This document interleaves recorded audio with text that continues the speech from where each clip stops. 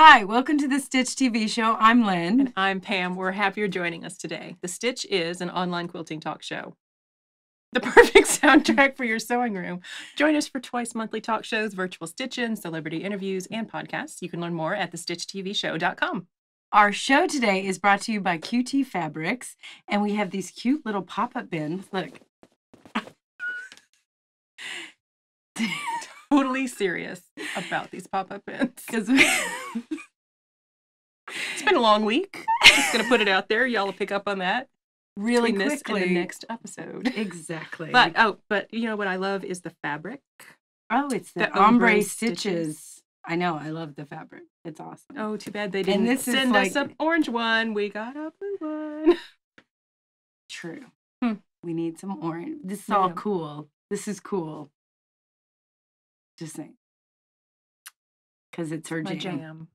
But that's all right. So- I'm so good. You live. I'll live. You live. I'll live. So today we're going to be talking about our top three considerations for buying a sewing machine for piecing. Very important, piecing. And ideas for quilting antique quilt tops. We're joined by my great grandmother's quilt, and it's an English, uh, grandmother's English flower garden. Or grandmother's flower, garden. English paper piece. No, actually, it's not. It's It's, not? just hand piece. Oh. So Fancy. yeah, I guess in my head I'm thinking uh, that's all we're doing today when we do this is English paper piecing. But A lot of people don't hand piece, but that's hand piece. Oh. oh, yeah, because it's set a little bit different because of the tiny diamonds in between. Yes. Although you could do that with English paper It's piecing. true. But One yes, one could. one could if they would like. Would not. That can happen. now, were these that's why I have my grandmother. These are leftovers from It's 19. dresses, house coats. Uh, You know, you can't. That's You a can't big mis- misnomer. Yeah, we'll have to talk about when we talk about the quilt, the antique I thought we were talking about it right now, but okay. But well, it, that's part of my. like, Oh, I your to- thing. Yeah. Like I don't want to talk about before we have to talk, because then I don't have anything to talk about. You'll spoil the surprise. so what's up? What have you been doing? So I went to the original sewing quilt expo that was exciting. Just I didn't get. I didn't get to go. You didn't get to go, and I I'm got asked, "Where's Lynn?" I'm like, "She ditched me. That's not necessarily true. She ran away." That is that part's true. I did run away. But I did get a. Pro- I tried to be nice and smile and channel you and did they talk to you? Did you get stopped? yes, See, that's going back to the RBF. but but I did stop and was polite to people. Well, just so you know, I wasn't there because I was in Nashville, we'll talk about that next episode. But I did think this was funny because I was helping my sister set up this event that I was at in Nashville, and it was at the Omni Hotel. And so we were working with, you know, the people who are in charge of event planning and stuff. And I had my Netflix and quilts t shirt on. And the guy said, Are you a quilter? And I said, Yes, yes, I am. And he said, Are you going to be at QuiltCon next year? I'm like, Yes, Yes, we will. So I thought it was funny that the guy working it was already asking about who's going to be there. I'm like, the Stitch TV show will be there. So Yeah, they're already prepared. I've laid the groundwork with the Omni. They know we're coming. awesome. There you go. So what about the? So how is this? Well, the, so uh, call back is to it? Stitch. original, sewing Original? and quilt expo. Okay. I'm everything's sorry. got the stitch. Yet I just got back, so I'm a little. that's okay. Thanks. Uh, so stopped and said, "Hey, girl, hey," to um, Famore Cutlery, Yes, friends of the show. Yes, Uh, and not only was there an awkward hug, you know, which is your jam. There was also the jam. awkward cheek kiss. I'm like, oh, okay, extra pats. like I, I don't know how to respond to that. Yeah. So yeah, So, but that's all good. did, did that. Said hey to them, uh, and then previous celebrity interviewee David Gilliland was there, actually right next to Famore. So talked to Good. him. Met a couple fans that sought me out. Oh yay! So hello, hello. I'm to sorry, wasn't Sandy there to and Robin, who got buttons. Oh yay! Uh, and one of them saved me from uh, the purchase of an unfortunate blouse. So there's that. You didn't buy a blouse that the you color thinking- was great. The There was a there was a lot of look. a lot of bling or something. It wasn't shiny bling. It was like tons of. And so there were. It was a short sleeved king hands, which. Why make this look bigger? I like king hand. I do king hands on a lot of It's not the- blouses. Not the right kind of I gun. like yeah, but king when hands. they're at the right place on your arm, cool. When they're up here, Maybe not so. not a good look. Not I do good like the three quarter inch. I do, yeah, because it That's cuts your wrist at the slimmest part of your arm, Yeah. as opposed to cap good look. sleeves, which is the fattest part of my arm anyway. yes. That's Not a good look. So thank you for saving me from that, and I went and bought a different shirt, which I would have worn for filming today, but it wasn't dry yet. Oh, because laundry happens today was laundry day. in your house. you guys can't see, but I'm wearing pants that totally do not match my shirt. These are pants that usually do not see the outside of my house, It's all good. but they're practically fleece lined. So right now my bottom half is very warm. I may start sweating any minute now. Okay, so moving on. Um, we are going to talk about uh three, things to look. So I limit it to three. We can have more. because you know I rebelled. Yes. I put down four. I'm not. I, she gives me these rules and I break them. That's my jam. So we're trying. This is machine piecing. Machine piecing. So something that can do a good quarter inch. That's it. That's it. That's all you look so at. scratch that fourth thing off right now. No, Yeah. no, hmm no. She put stitches on there. Yes, No. I want stitches. Quarter inch machine. I yes, but I'm not just piecing with my. I know. Ugh. See this? It's full of. Shh, it's got your name on it.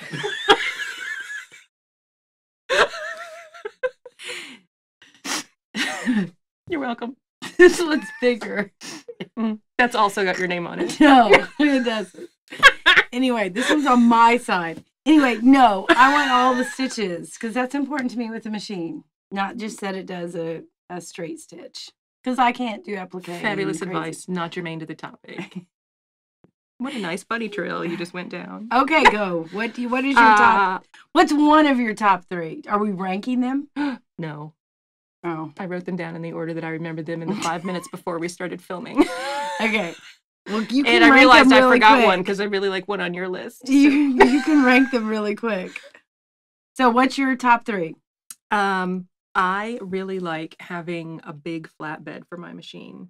And sometimes that's the insert that goes on over it. And it's not necessary when you're just piecing tiny half square triangles, but when you get to where you're piecing along, Like A uh, lo- like sashing and blocks sashing, together. yeah, or column quilts. Like I really like having that extra Supports. bed. So Yeah. yeah. so it doesn't drag as much. so you can follow in and stuff. now like that, being said, I usually sew on a featherweight for a travel machine, but I discovered the extra the extension table for my Janome 6600 is the same shape as my featherweight. so you can put it up there and it I have to raise the featherweight up a little bit, it- but yeah, it fits right over there. So you're excited about that aspect. I would be if I ever remembered to bring it with me when I had the featherweight. Yes, I'd be very excited. I do carry an extra bed with me when I go so other places. I, I mean, a table, not an extra bed, a table that fits my machine. She does carry an extra quilt with her. I do. because we've and I started doing that now too.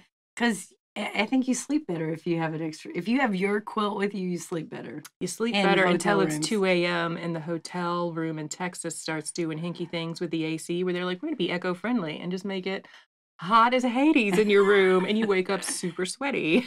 When I- 201. when I was in Australia, when I was overseas, it was Australia.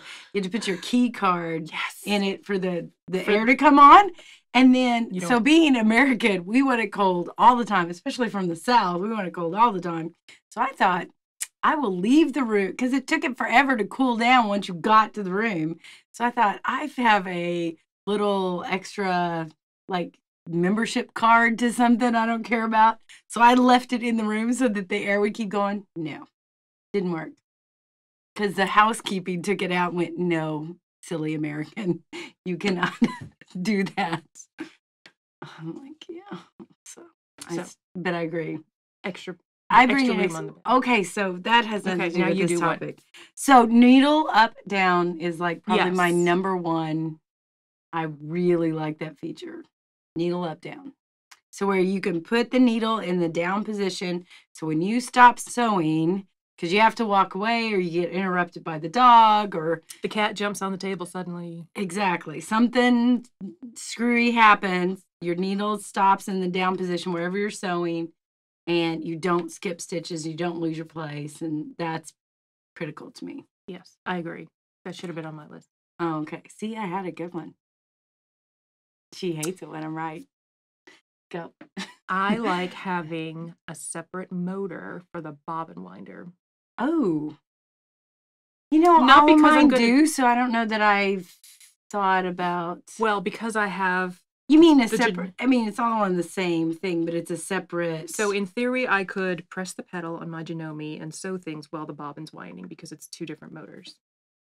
As opposed to my featherweight, the built-in bobbin winder is mechanical and based on like friction with the the, the rubber. I can't do drive. that because of how the thread goes through the machine to sew. Oh, I have like double spool holders on mine. No, but because of how it hooks on the Oh, back yeah. of the machine to the bobbin. Now, it hooks on the that being said, I haven't actually ever done that because it's you just like too much that- concentration. I just like to know that I could, or that, This is a feature you will never use. or that heaven forbid, Yet you should have it on your machine.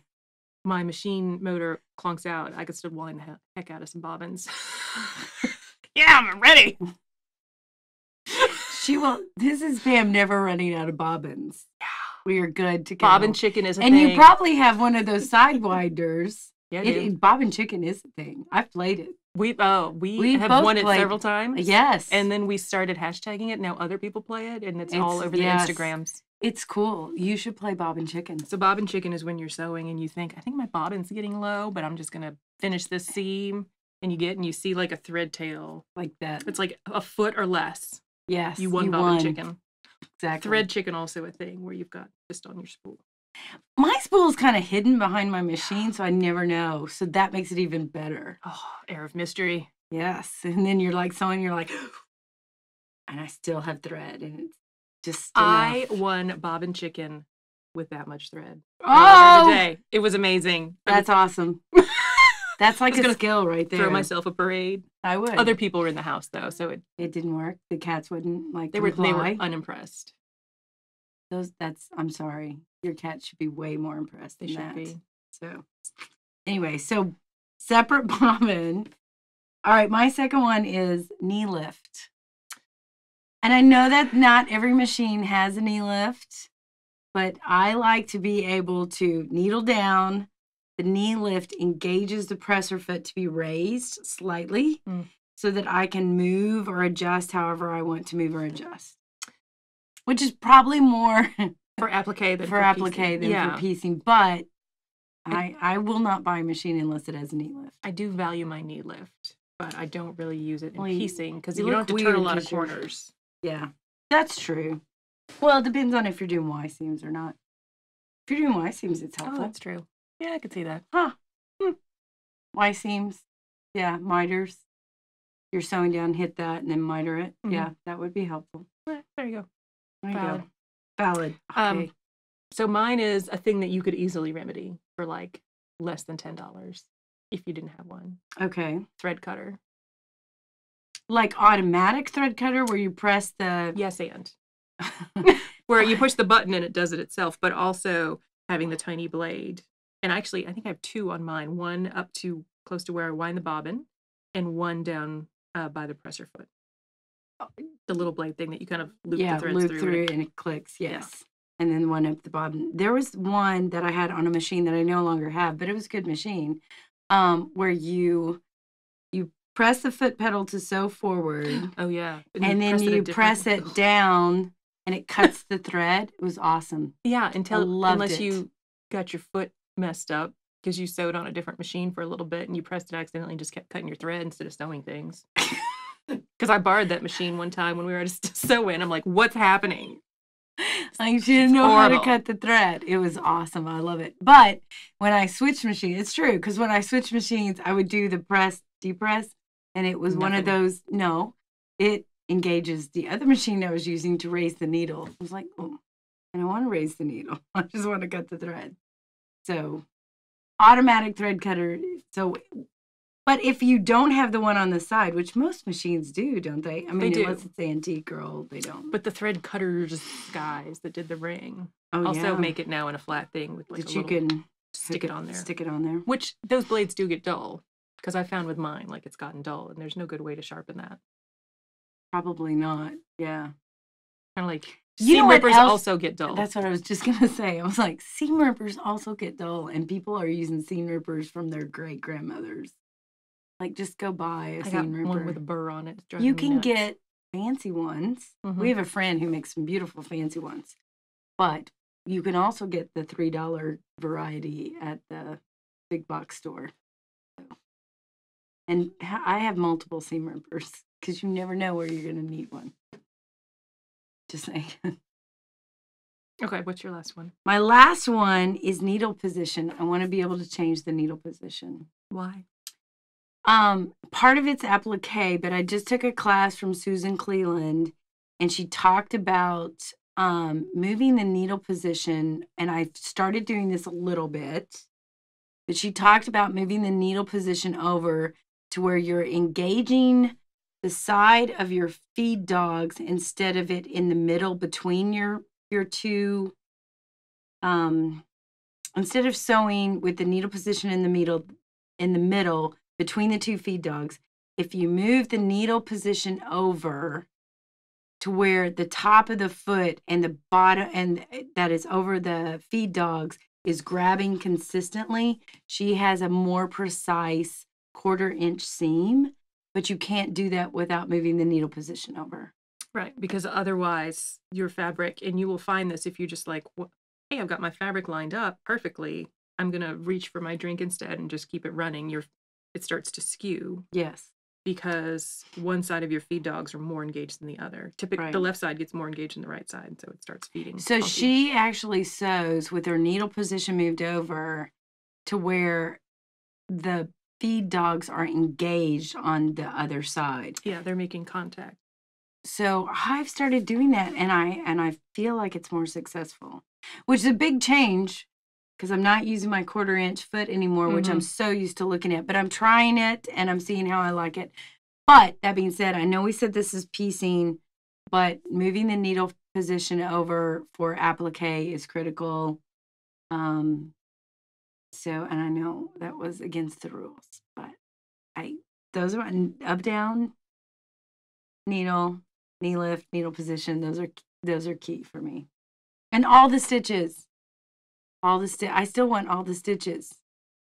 You don't need all the stitches. I like all the stitches, all like the most variety of stitches I can have is like You get one. no. I want all the stitches because I'm I've got a new pattern in my head that will come out with all the stitches. and just My so you know, face. projection support just went, oh no, what she gonna hand me? they did just see the Roman Yosi quilt I did, and I, they're a little concerned that I've got some crazy ideas. mm-hmm. Yes. so now we are going to take a closer look at the antique quilt. Well, it's really vintage. It's not antique technically. Um, and it's of my great ma- great grandmother's grandma's flower garden. And we'll be right back.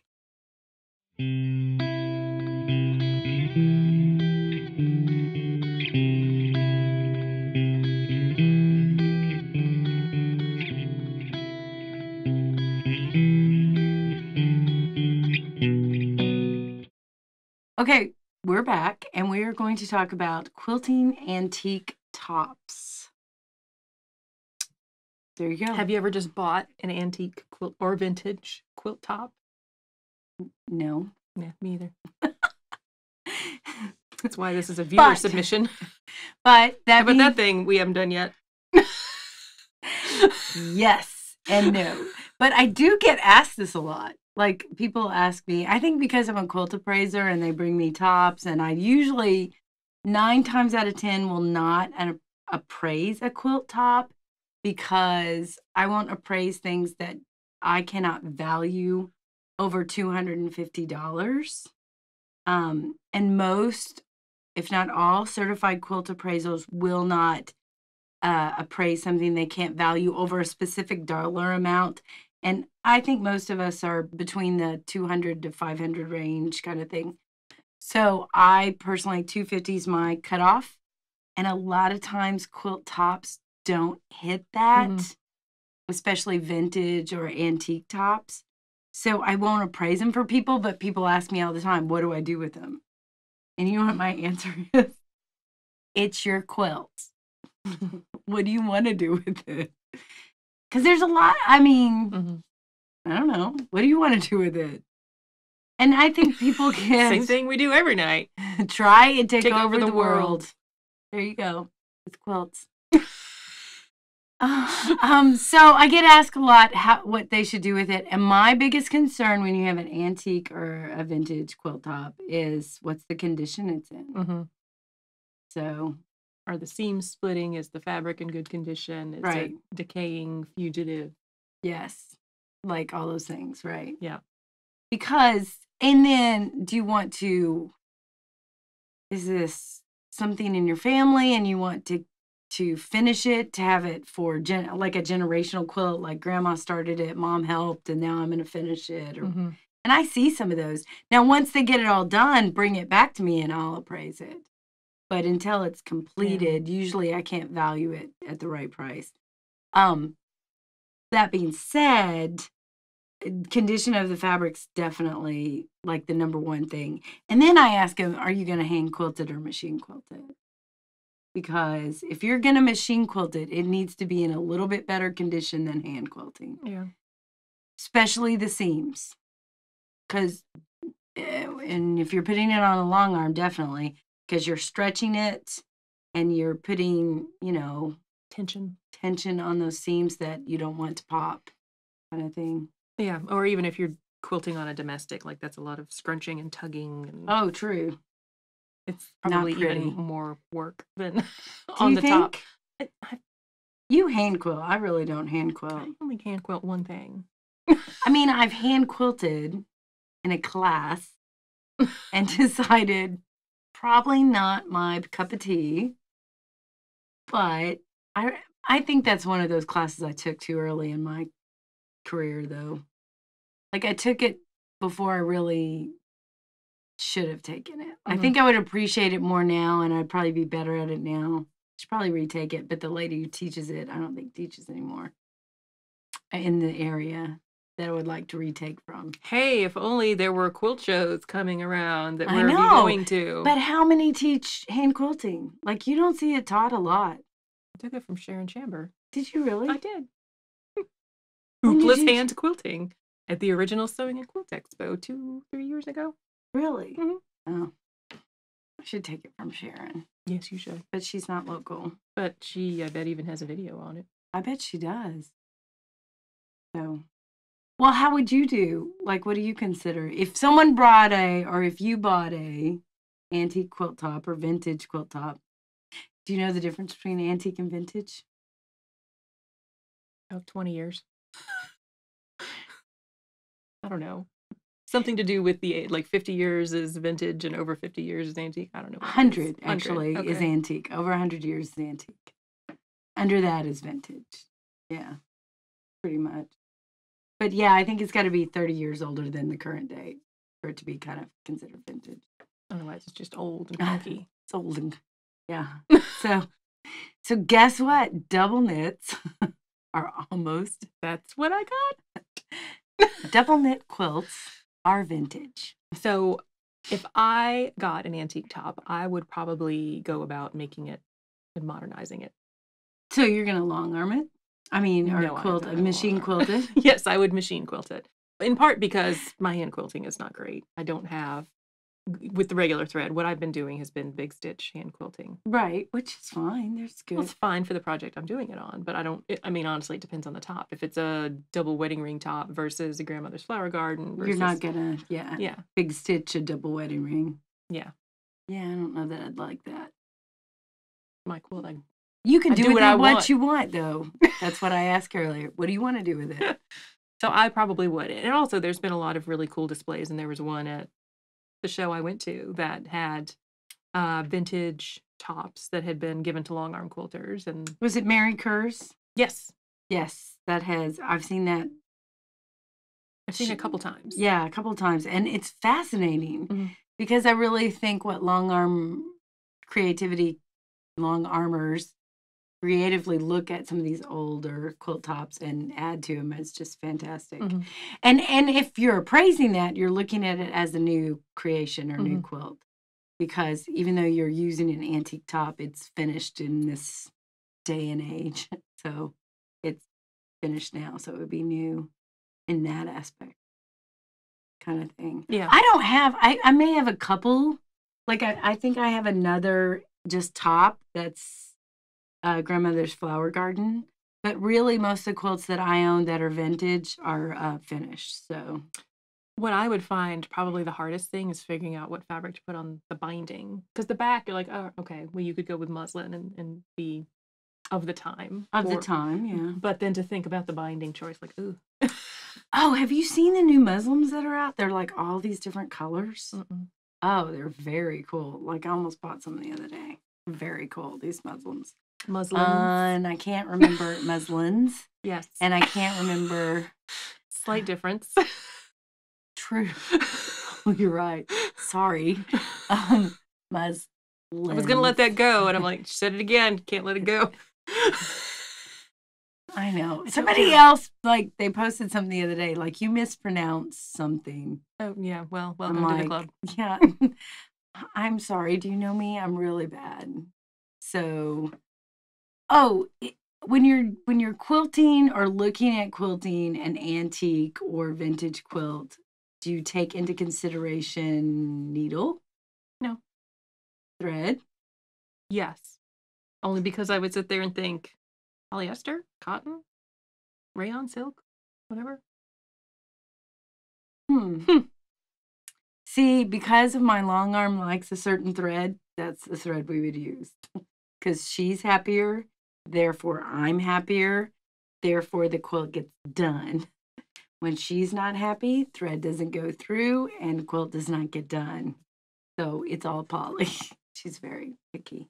She likes the poly. I can go either way with mine. Either a there's a cotton thread that works okay, and then there's polyester thread that works okay. But There, I've even used you know rayon, and and that's gone well because it's nice and slippery. But it's got a sheen to it that maybe doesn't quite work with the, the yeah, vintage an old, old textiles. vintage. Yes. And I would think you would want the matte finish on the thread. True. I yeah, well, depending on the top again Yeah, and what true. you're trying to do to it and that kind of stuff. So, um, yeah. This one is quilted what they call to the piece, um, and it's hand quilted. Of course, it was done during the time frame and not. It's not a top that was given to me. But if I do find the one that's another one, and I was going to quilt it, I think that would be my I'm going to learn hand and I will hand quilt it to the piece because to the piece is, you don't have to make design decisions That's on to the true. piece. That's the benefit. And what we mean, I don't know if we've said this before, we may have, but what to the piece is like every one of these hexie has a quarter inch from the seam inside little stitches all the way around. So every little hexie has little stitches inside of it, quarter inch from the seam. it's not in the ditch. That's Right. different. Yes. And I would do to the piece because I think that that would be also, you don't have to think about it. Hey, did they use a lot of different colored thread back in the era? Because most of the antique tops I've seen, it's been white or off-white thread. Yep. No, like That's that's what you got. that's what you had. Yeah. I didn't see a lot of, I've never seen a lot of different colors of thread, but I've also never been asked that question. Oh, So I would have to research and ask a few people if they've seen it. But I have to admit, I've never seen, um, it's always been white or off white. Or, I mean, it may look brown now, but yeah. it aged with the quilt kind of thing. So yeah. Um, uh, what else do you have? I made a note that I don't know how to decipher work of machine. Work of machine. I don't know what that means.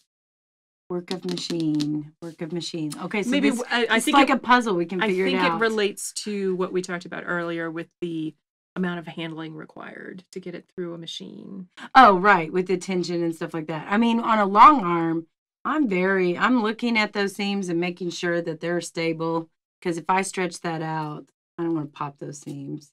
You don't want to do that on today's quilt.